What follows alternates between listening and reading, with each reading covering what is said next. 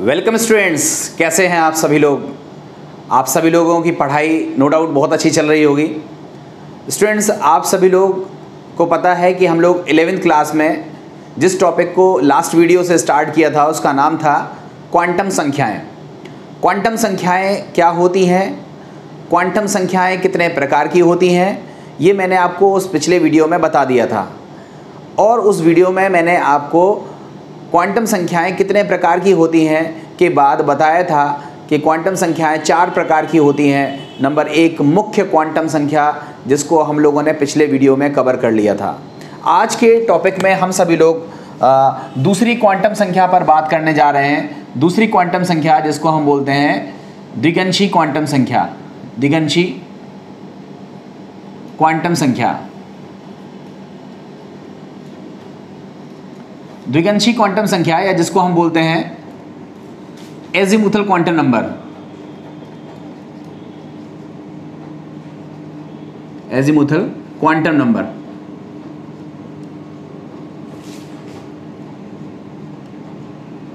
ये most important है, बहुत पूछी जाती है, अलग से शॉर्ट नोट आता है कि दिगंशी क्वांटम संख्या क्या होती है। तो देखो, आप याद रखिएगा, वह क्वांटम संख्या वह क्वांटम संख्या, जो हमें इलेक्ट्रॉन के उपकोष की जानकारी प्रदान करती हैं। इलेक्ट्रॉन के उपकोष की जानकारी प्रदान करती हैं। द्विगंशी क्वांटम संख्या कहलाती है। द्विगंशी या कुछ लोग दिगंशी जैसा भी लिखना चाहो, दोनों एक ही चीज़ है। दिगंशी क्वांटम संख्या कहलाती है। दिगंशी क्वांटम संख्या, जिसको हम शॉर्ट में कहते हैं एजिमुथल क्वांटम नंबर कहलाती है। इसकी खोज तो सोमरफील्ड ने करी थी, ठीक है? लिखना चाहो तो लिख देना इसकी खोज सोमरफील्ड नामक वैज्ञानिक ने करी थी। इसे एल से प्रदर्शित करते हैं। एल से प्रदर्शित करते हैं। यह है, या ऐसे लिखोगे एल का मान एल का मान मुख्य क्वांटम संख्या। ब्रैकेट में एन पर निर्भर करता है। निर्भर करता है। एन के किसी मान के लिए, किसी मान के लिए एल का मान ज़ीरो से एन माइनस वन तक होता है। ठीक है, ये है हमारी डेफिनेशन इसको आपको वर्ड टू वर्ड याद करना पड़ेगा। अब देखो, मैं आपको इस डेफिनेशन को बहुत आसानी से समझा रहा हूँ। बहुत ध्यान से याद करिएगा। देखो, हमने आपको क्या बताया था कि किसी भी व्यक्ति का जो एड्रेस है, उसको बताने के लिए पहले देश का नाम पता होना चाहिए, फिर हमें प्रदेश का नाम पता होना चाहिए, तब जा कर के हमें ज़िले का नाम पता होना चाहिए। और तब जा कर के फिर हमें गली, मोहल्ला या गाँव का नाम बताया जाना चाहिए। तो जा कर के उस व्यक्ति का एड्रेस कंप्लीट हो जाता है, ठीक है? समझाने के लिए मैंने ऐसा लिया था। अब देखो, देश का नाम मतलब कक्षा के बारे में जो क्वांटम संख्या बताती है, उसको बोलते हैं मुख्य क्वांटम संख्या प्रिंसिपल क्वांटम नंबर इसको हम एन से प्रदर्शित करते हैं। इसके बारे में आप पिछले वीडियो में पढ़ चुके हो। अब प्रदेश प्रदेश का मतलब है उपकोष इसको हम कक्षा की जगह कोष भी कह सकते हैं। कक्षा कहें या फिर कोश कहें, एक ही चीज़ है। इसके और भी नाम हैं। मैंने आपको पिछले वीडियो में बताए हैं कि कक्षा, कोश, मुख्य ऊर्जा स्तर शेल ऑर्बिट ये सब इसके नाम हैं।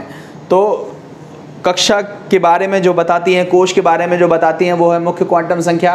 डिटेल आप पिछले वीडियो में देख चुके हो। कक्षा के बाद अब बात आती है उपकक्षा की, या कहें तो उपकोष की या सब शेल की। तो सब शेल के बारे में उपकोष के बारे में। जो क्वांटम संख्या हमें बताती है, उसे हम बोलते हैं दिगंशी क्वांटम संख्या। देखो, परिभाषा क्या लिखी है? वह क्वांटम संख्या जो हमें इलेक्ट्रॉन के उपकोष की जानकारी प्रदान करती है। दिगंशी क्वांटम संख्या या एजीमुथल क्वांटम नंबर कहलाती है। अब इसके आगे इसे एल से प्रदर्शित करते हैं, ये तो याद करना पड़ेगा, ठीक है? एल से प्रदर्शित करते हैं और इसका एन ये एन के मान पर निर्भर करता है। देखो एन से शुरुआत करी थी ना तो जो एल का मान है, जो एल का मान है, वो किस पर निर्भर करेगा? एन का मान। अगली जो क्वांटम संख्या पढ़ेंगे, वो किस पर निर्भर करेगी? एल पर। समझ में आ रहा ना? तो हम इसमें क्या लिखा है कि इसे एल से प्रदर्शित करते हैं और जो एल का मान होता है, वो एन के मान पर निर्भर करता है और एन का अगर कोई मान दिया है, हमें नहीं पता कितना है तो एल बराबर कितना होगा? ज़ीरो से लेकर एन माइनस वन तक। ठीक है? एक उदाहरण भी आप यहाँ से लिख सकते हो। उदाहरण में हमने लिखा, यदि यदि एन बराबर चार है तो एल बराबर ज़ीरो से फोर माइनस वन तक, अर्थात एल बराबर ज़ीरो, वन, टू, थ्री होगा। ठीक है? अब बताओ एन बराबर चार का मतलब क्या होता है? कोश संख्या कितनी है? चार मतलब चौथा कोश है। और एल बराबर ज़ीरो, एक, दो, तीन है, इसका मतलब चार मान है। इसका मतलब उपकोष कितने हैं? उपकोष की संख्या कितनी है? उपकोष की संख्या कितनी है? चार। मतलब अगर हम इसको समअप करें तो क्या बोलेंगे? कि चतुर्थ कोश में, चौथे कोश में चार उपकोष उपस्थित होते हैं। ठीक है? आपको पता है ना कि कोश का निर्माण उपकोष से हुआ है। तो चौथे कोश का निर्माण चार उपकोष से हुआ है। थोड़ी देर के लिए सोचो। यदि हम एन बराबर, यदि एन बराबर तीन ले लें तो एल बराबर कितना हो जाएगा? तो आप बोलोगे ज़ीरो से थ्री माइनस वन तक मतलब ज़ीरो से लेकर दो तक। तो ज़ीरो के, से दो के बीच में क्या आएगा? ज़ीरो आएगा, एक आएगा और दो आएगा। इसका मतलब टोटल मान कितने हैं? तीन मान है, तीन मान है। तो इसका मतलब ये हुआ कि जो तीसरा कोश है एन बराबर तीन मतलब जो तीसरा कोश है, वो कितने उपकोष से मिलके बना है? तीन उपकोष से मिलके बना है। चौथा कोश चार उपकोष से मिलके बना है। तीसरा कोश तीन उपकोष से मिलके बना है। इसी तरह से निकालिएगा आप, दूसरा कोश दो उपकोष से मिलके बना होगा और पहला कोश एक उपकोष से मिलके बना होगा। अब उपकोष के नाम कौन से होते हैं, ये याद रखिए एस पी डी और एफ़ ये उपकोष होते हैं। अगर एल बराबर ज़ीरो है एल बराबर कितना है? यहाँ लिख दे रहा हूँ मैं। यदि एल बराबर ज़ीरो है तो इट इम्प्लाइज एस उपकोष उसका मतलब क्या होगा? एस उपकोष एल बराबर वन है तो इसका मतलब क्या होगा? पी उपकोष एल बराबर अगर टू है तो इसका मतलब क्या होगा? डी उपकोष और इसी तरह से यदि एल बराबर तीन है तो इसका मतलब एफ़ उपकोष जनरली देखा जाता है कि एस पी डी और एफ़ उपकोष में हमारा काम चल जाता है। आगे एफ़ के बाद जी एच आई ये उपकोष हो सकते हैं बट हमें, हमारे पास जितने भी एलिमेंट मौजूद हैं, उन सभी में कुल चार तरह के उपकोष देखे जाते हैं। इसलिए हम एफ़ उपकोष तक की बात करते हैं। आगे कभी कोई एलिमेंट खोजा गया जिसमें और उपकोष की भी आवश्यकता पड़ी तो फिर आगे एफ़ के आगे भी पॉसिबिलिटी होगी। वो बात की चीज़ है। अभी हमने केवल इतनी सी चीज़ देखी कि क्वांटम संख्या क्या होती है। तो आपने कहा वे संख्याएँ जो इलेक्ट्रॉन की स्थिति और ऊर्जा की जानकारी देती हैं, उन्हें हम बोलते हैं क्वांटम संख्या। उसके बाद हमने सीखा क्वांटम संख्याएँ कितने प्रकार की होती हैं। आपने आंसर दिया, चार प्रकार की होती हैं। नेक्स्ट क्वेश्चन सीखा क्वांटम संख्याएँ कौन कौन सी होती हैं? आपने कहा मुख्य क्वांटम संख्या दिगंशी क्वांटम संख्या, चुंबकीय क्वांटम संख्या और चक्रण क्वांटम संख्या।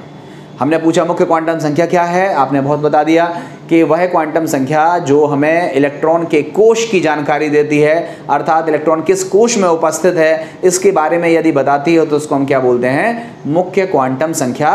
इस संख्या से कुछ एक और जानकारियाँ भी मिलती हैं, जैसे परमाणु कोश के आकार के बारे में, उसकी त्रिज्या के बारे में, उस कोश में इलेक्ट्रॉन जो चक्कर लगा रहा है, उसकी एनर्जी के बारे में। मैंने आपको इसको डिटेल में वीडियो में कवर कर दिया था। आज हमारा जिस टॉपिक पर डिस्कशन है, वो है दिगंशी क्वांटम संख्या, या जिसको बोलते हैं एजीमुथल क्वांटम नंबर तो आई थिंक आपको उसकी परिभाषा याद हो गई होगी। वे क्वांटम संख्याएँ जो हमें इलेक्ट्रॉन के उपकोष की जानकारी देती हैं, उसे हम बोलते हैं दिगंशी क्वांटम संख्या। इसे हम एल से प्रदर्शित करते हैं और एल का मान एन के मान पर निर्भर करता है। यदि एन का मान कुछ दिया हो तो एल बराबर ज़ीरो से लेकर एन माइनस वन तक होगा। और उदाहरण के लिए एन बराबर चार है तो एल बराबर ज़ीरो एक दो तीन होगा। एन बराबर तीन है तो एल बराबर ज़ीरो एक दो होगा। उसके बाद एल बराबर दो होगा तो निकालिएगा। एन बराबर दो होगा तो एल बराबर कितना हो जाएगा? ज़ीरो कॉमा एक हो जाएगा और एन बराबर एक है तो एल बराबर केवल और केवल क्या हो जाएगा? ज़ीरो। ये ज़ीरो का मतलब होता है एसो कोश अगर एल का मान ज़ीरो निकल के आ रहा है तो उसका मतलब एसो कोश पी निकल पी वन निकल के आ रहा है तो उसका मतलब पी उपकोश। एल बराबर दो निकल के आ रहा है तो उसका मतलब डी उपकोश। एल बराबर चार निकल के आ रहा है तो उसका मतलब एफ़ उपकोश होगा। ये तो हो गई समरी जो आपको बतौर कंटेंट के तौर पर लिखनी पड़ती है तो आपने इसको लिख दिया। अब देखो मैं इसी को थोड़ा सा अप्लाई कर रहा हूँ। ध्यान से समझना। हमने क्या काम किया? दिगंशी क्वांटम संख्या के बारे में आपसे बताया कि दिगंशी क्वांटम संख्याएँ हमें कुछ और जानकारियाँ देती हैं। देखो, ये तो हो गई परिभाषा वाली बात। आपने फटाफट परिभाषा लिख दी। अब हम इसमें देख रहे हैं कि दिगंशी क्वांटम संख्या पढ़ने के बाद हमें कौन कौन सी नई जानकारियाँ मिलती हैं तो याद रखिएगा। यह क्वांटम संख्या हमें बताती है, यह क्वांटम संख्या हमें बताती है कि किस कोश में कौन कौन से उपकोश उपस्थित हैं। ठीक है? पहली जानकारी हमें देती है ये। अब कहोगे, इसका क्या मतलब? मैं अभी बता रहा हूँ। दूसरी जानकारी इससे मिलती है कि यह क्वांटम संख्या हमें बताती है कि उपकोश की आकृति कैसी है। उसके बाद यह क्वांटम संख्या हमें बताती है कि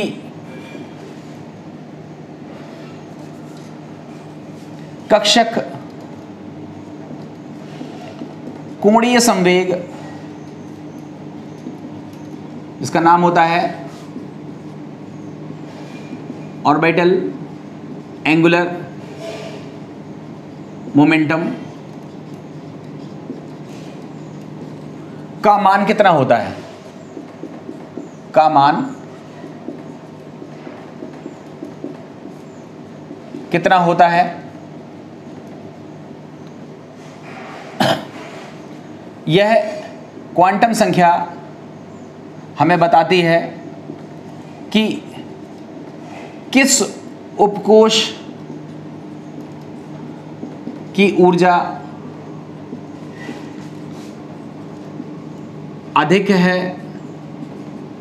और किस उपकोश की ऊर्जा, किस उपकोश की ऊर्जा कम है। और यह हमें बताती है कि किसी उपकोश में अधिकतम इलेक्ट्रॉन की संख्या कितनी होगी? ठीक है, ध्यान से समझिएगा, ये पाँचों चीज़ें हमें दिगंशी क्वांटम संख्या से पता चलती हैं। अब एक एक पॉइंट को मैं डिटेल में ले रहा हूँ। देखो यहाँ पे। देखो, ये है मेरा पहला पॉइंट कि क्वांटम संख्याएँ हमें यह बताती हैं कि कोश में कितने उपकोश हैं। तो देखो, कोश को कौन बताता है? आप बोलोगे कोश को बताते हैं मुख्य क्वांटम संख्या एन एन बराबर वन है, इसका मतलब पहला कोश है। एन बराबर दो है, इसका मतलब दूसरा कोश है। एन बराबर तीन है, तीसरा कोश है। एन बराबर चार है तो चौथा कोश है। एन बराबर पाँच है तो पाँचवा कोश है। तो कोश के बारे में हमें जानकारी कौन देता है? मुख्य क्वांटम संख्या। चलो ठीक है, ये तो हमें पता है। अब बताओ, इस कोश में उपकोश कितने होंगे? इस कोश में उपकोश कितने होंगे? इसकी जानकारी कौन देगा? एल अब बताओ एल बराबर कितना होगा? अगर एन बराबर ज़ीरो है तो एल बराबर ज़ीरो से वन माइनस वन। मतलब ज़ीरो से ज़ीरो। तो एल बराबर कुल कितने मान होंगे? आप खुद बताओ। एल के मान कितने होंगे? आप बोलोगे केवल एक ही मान होगा ज़ीरो अब बताओ, यदि एन बराबर दो है तो एल बराबर क्या होगा? ज़ीरो से टू माइनस वन इसका मतलब ज़ीरो एंड वन दो मान होंगे। एन बराबर तीन है तो एल बराबर कितना होगा? ज़ीरो से three minus one it mean zero भी होगा वन भी होगा टू भी होगा. चार है तो एल बराबर क्या होगा? ज़ीरो से four minus one that is zero होगा वन होगा टू होगा और थ्री होगा. इसी तरह से एल बराबर ज़ीरो से फाइव माइनस वन इसका मतलब zero one two three four ये सब होंगे मान। इसका मतलब क्या हुआ? इसका मतलब देखो मैं अभी भी बता चुका हूँ उपकोष के नाम क्या होंगे? उपकोष के नाम क्या होंगे? तो आप कहोगे एल बराबर अगर ज़ीरो है तो उपकोष का नाम होगा एस एल बराबर ज़ीरो और वन है तो इसका मतलब उसमें दो उपकोष हैं एस है और पी है। तीसरे कोष में तीन उपकोष हैं एस पी और डी चौथे में चार उपकोष हैं एस पी डी और एफ़ और पाँचवें में पाँच उपकोष हैं S P D F G अब जी का उपयोग नहीं करते हैं, वो बात की चीज़ है। तो आपसे कभी कभी ऐसा क्वेश्चन पूछता है कि देखो one S two S three D और four G sorry three F चार मैंने विकल्प ले लिए। पहला विकल्प, दूसरा विकल्प, तीसरा विकल्प, चौथा विकल्प। आपसे क्वेश्चन पूछ रहा है कि निम्नलिखित उपकोषों में कौन सा उपकोष संभव नहीं है? अब आप बताओ। ये वन मतलब है पहला कोश। वन का मतलब है पहला कोष पहले कोष में देखो एस पॉसिबल है, ठीक है? ये टू मतलब है दूसरा कोष दूसरे में भी एस पॉसिबल है। देखो, दूसरे में भी देखो एस होता है। मतलब ये भी पॉसिबल है, ये भी पॉसिबल है। ये तीसरा कोष है। तीसरे कोष में एस भी होता है पी भी होता है डी भी होता है। तो इसका मतलब थ्री डी भी है पॉसिबल होगा। अब बताओ थ्री एफ़ बताओ, इसका मतलब ये हुआ कि तीसरे कोष में क्या एफ़ है? आप खुद देखो। ये हमारे पास तीसरा कोष है। तीसरे कोष में एस तो होता है पी तो होता है डी तो होता है, मगर एफ़ नहीं होता है। इसका मतलब थ्री एफ़ पॉसिबल नहीं है। तो आपसे इस तरह के क्वेश्चन खूब सारे पूछे जाते हैं। मैं आपको कुछ क्वेश्चन लिख दे रहा हूँ। आप केवल ये बताइएगा कि कौन से उपकोष पॉसिबल नहीं हैं। आप हमें ये बताइएगा कौन से उपकोष पॉसिबल नहीं है, ठीक है? मैं आपको बता रहा हूँ पहले लिखा हमने two D three P, four F, six G, five F, seven G. ये मैंने कुछ उपकोष के नाम लिखे हैं आप हमें केवल ये बताइएगा कि कौन सा उपकोष पॉसिबल है और कौन सा उपकोष पॉसिबल नहीं है। तो आपने देख लिया ना कि किसी कोष में कौन से उपकोष होते हैं, इसकी जानकारी हमें किससे मिल जाती है? एल के मान से मिल जाती है। तो देखो हमारा पहला पॉइंट तो क्लियर हो गया कि यह क्वांटम संख्या हमें बताती है कि किस कोष में कौन कौन से उपकोष उपस्थित होते हैं। क्लियर है? ये क्वेश्चन आपको करना है कमेंट सेक्शन में इसका आंसर देना है। अब इसके बाद देखिए, दूसरा पार्ट को अगर हम देखें तो उसमें लिखा हुआ है कि यह क्वांटम संख्या हमें बताती है कि उपकोष की आकृति कैसी होगी। इसको देखो, आप याद कर लेना। ये मैं बोर्ड पर लिख दे रहा हूँ। आकृतियाँ आपको पहले बता चुका हूँ मैं कि किस उपकोष की आकृति कैसी होती है, ये मैं आपको बता चुका हूँ। बस यहाँ पर केवल आपको लर्न करना है। यहाँ लिखिएगा उपकोष उससे पहले लिखिएगा ऐसा लिखिए। पहले लिखिए दिगंशी क्वांटम संख्या। एजिमुथल क्वांटम नंबर का मान या लिखिएगा उपकोष और उसके आगे लिख दीजिएगा आकृति।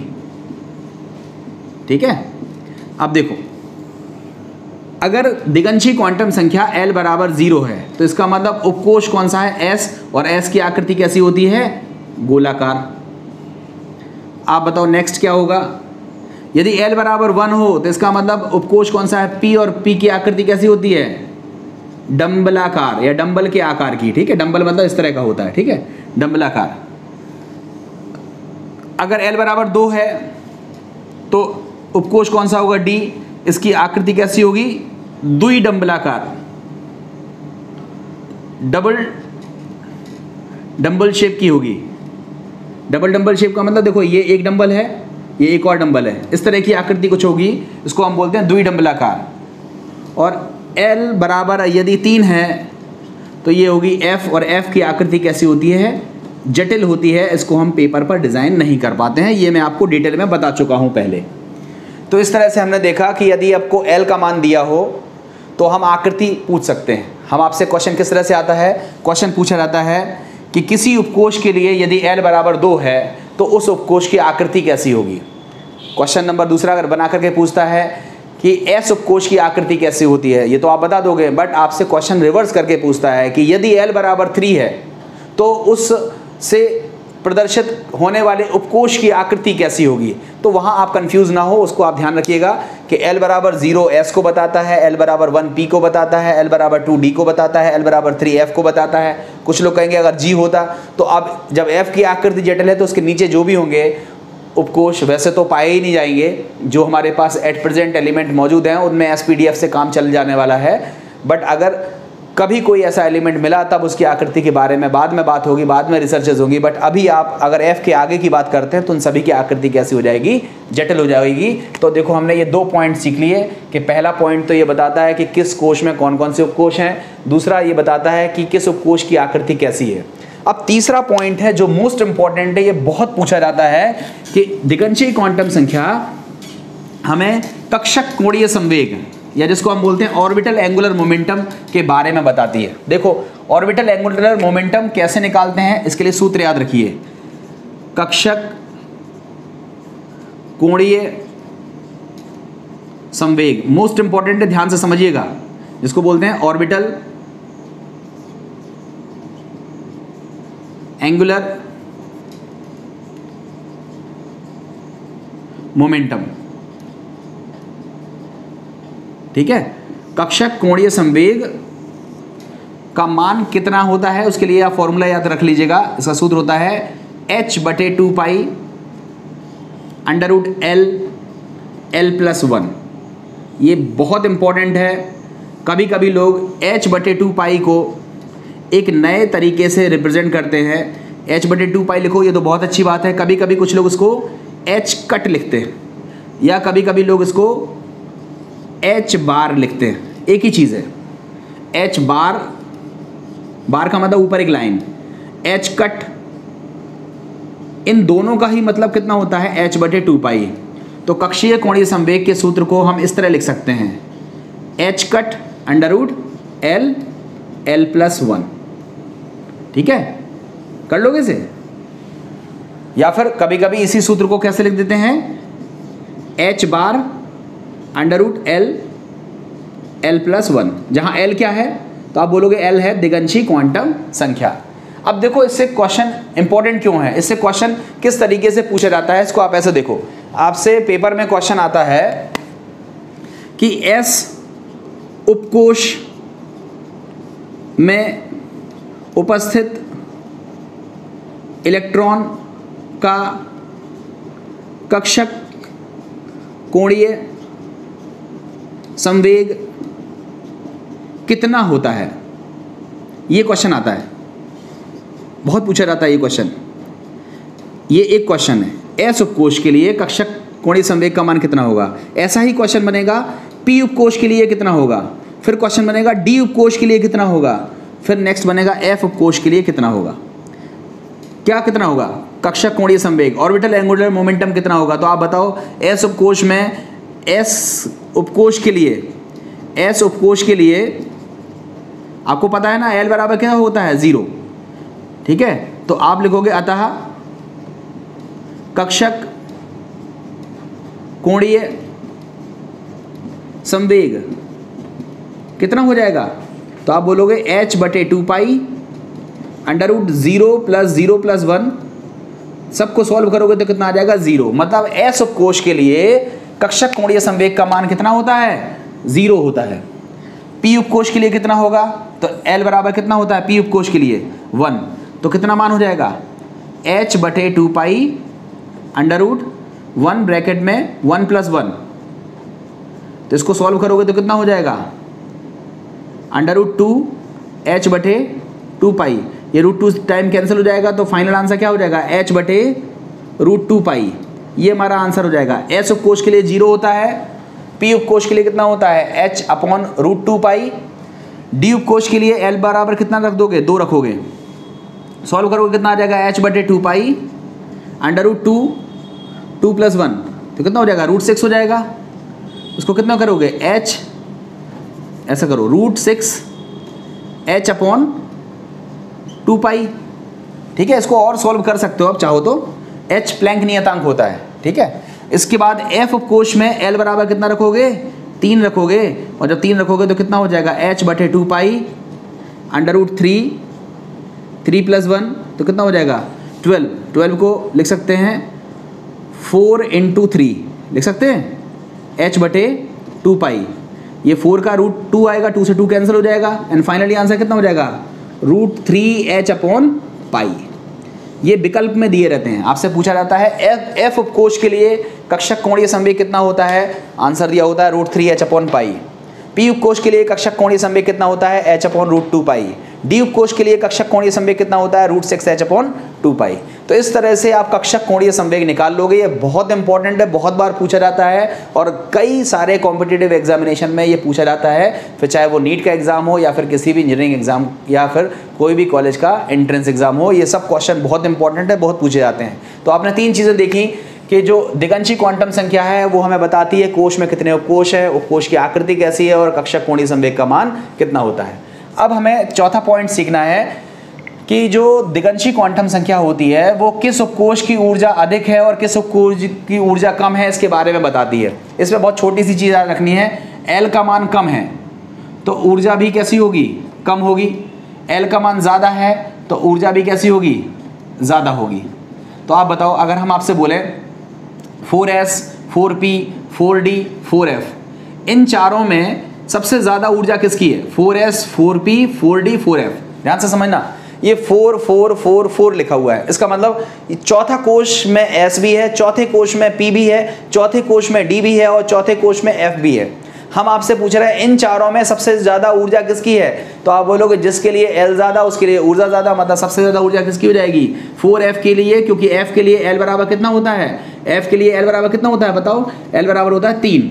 तो डी के लिए कितना होता है एल दो होता है। तो आप बताओ सबसे ज़्यादा ऊर्जा किसकी हो जाएगी? आप बोलोगे फोर एफ़ की, उससे कम किसकी हो जाएगी? फोर डी की, उससे कम फोर बी की, और उससे भी कम किसकी हो जाएगी? फोर एस की हो जाएगी। मतलब कहने का ये हुआ कि अगर एक ही कक्षा के कई उपकोश हैं, एक ही कक्षा के, अब देखो आप ऐसा मत करना। हमने आपसे बोला कि थ्री और फोर में किसकी ऊर्जा ज़्यादा है? थ्री और फोर में किसकी ऊर्जा ज़्यादा है? तो फिर इसमें, या ऐसा समझ लो थ्री और फोर में ऊर्जा ज़्यादा किसकी है?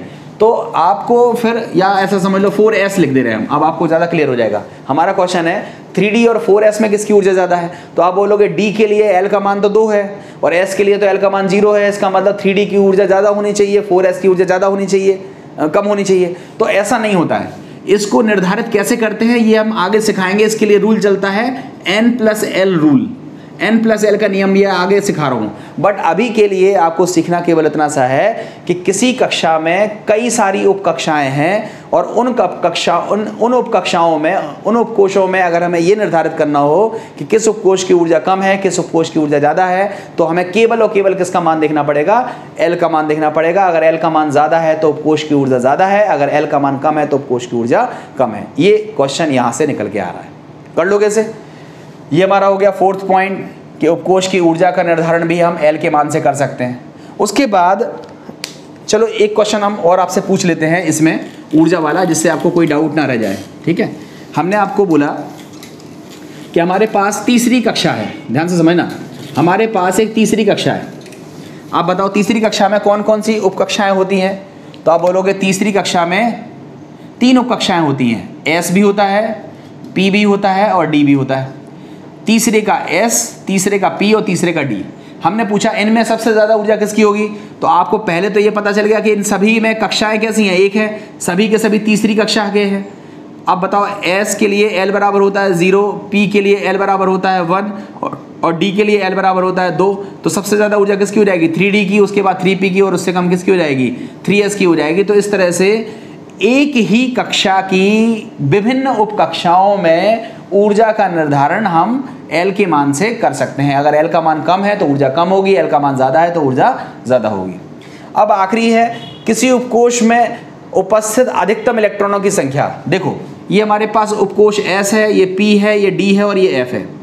आपको पता है, जैसे हमने कहा, ये कोश कोश में, कोश मतलब एन एन बराबर वन मतलब पहला कोश एन बराबर दो मतलब दूसरा कोश एन बराबर तीन मतलब तीसरा कोश एन बराबर चार मतलब चौथा कोश, ठीक है? अब आप बताओ, हम आपसे बोले कि पहली कोश में फ़र्स्ट शेल में कितने इलेक्ट्रॉन होते हैं? तो आप कहते हो टू एन स्क्वायर में एन का मान कितना रख दो?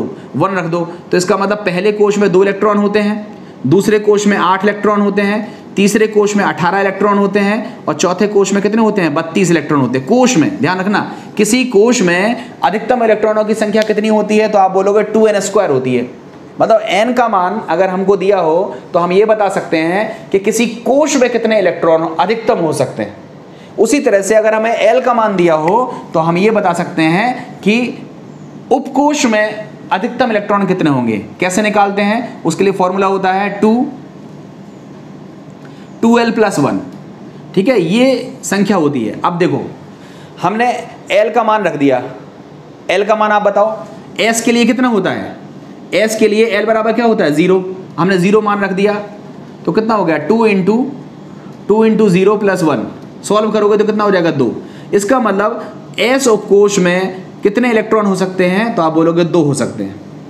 हमने कहा पी के लिए पी में कितने हो सकते हैं? तो आपने पी के लिए बोला पी बराबर पी के लिए तो एल बराबर होता है वन तो आपने मान रख दिया two into two into one plus one तो ये टू प्लस वन थ्री हो जाएगा थ्री का मल्टीप्लाई करोगे टू में तो कितना हो जाएगा सिक्स इसका मतलब जो पी उपकोश है, उस पी उपकोश में अधिकतम इलेक्ट्रॉन कितने हो जाएँगे?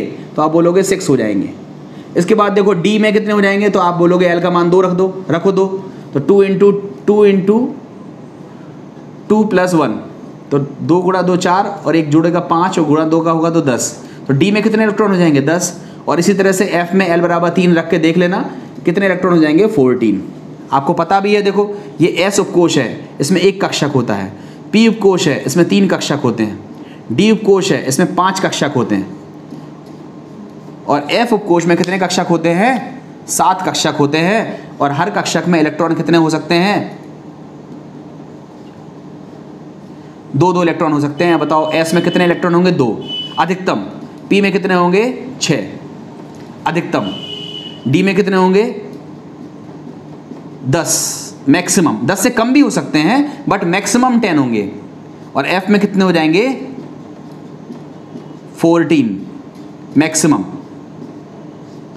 ठीक है? तो इस तरह से हम ये देख सकते हैं कि किसी उपकोष में इलेक्ट्रॉनों की अधिकतम संख्या किस से पता चलती है तो आप बोलोगे एल के मान से। एल के मान से निकालते कैसे हैं तो सूत्र क्या होता है? Two into two L plus one इस तरीके से हम किसी भी उपकोष में इलेक्ट्रॉनों की संख्या निकाल सकते हैं। सोचो, एक क्वेश्चन हम आपको दे रहे हैं कि मान लो हमारे पास कोई एक उपकोष है, जिसका नाम है जी हमारे पास कोई एक उपकोष है, जिसका नाम है जी अब आप बताओ कि अगर जी उपकोष होता तो उस उपकोष में अधिकतम इलेक्ट्रॉनों की संख्या कितनी होती? ये आप हमें सॉल्व करके बताइए कमेंट सेक्शन में इसका आंसर लिखिए।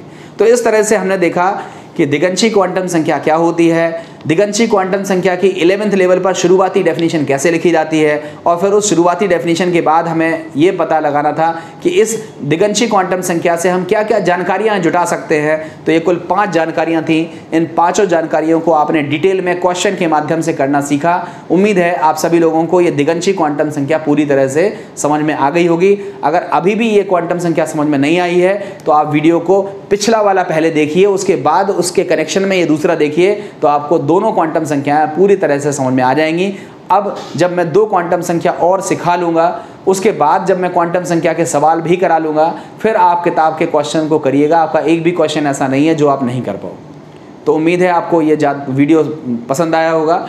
अपने दोस्तों तक इसको शेयर कीजिए लाइक कमेंट कीजिए और अगर आपने अभी तक सब्सक्राइब नहीं किया है तो फटाफट इसको सब्सक्राइब कर लीजिए, जिससे आपको नोटिफिकेशन तुरंत प्राप्त होता रहे। उम्मीद है पसंद आया होगा। Thank you thank you very much